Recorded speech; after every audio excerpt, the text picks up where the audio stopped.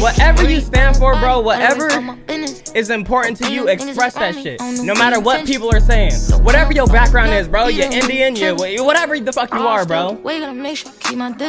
Own that shit. Own that shit. No matter when it is, don't just do it on whatever day you have or whatever month you have. Embrace that shit throughout the whole year, every day, until the day you fucking die. Fuck all these other niggas who say, I ah, know we don't care about that shit, right? I just didn't, we don't care. Fuck them. You are what you are, my nigga. Until the day you fucking die, until your until your soul leaves your fucking body. Be proud of what the fuck you are. Fuck what everybody else is saying, cause they don't fucking know you. Ignorant ass little children don't know shit.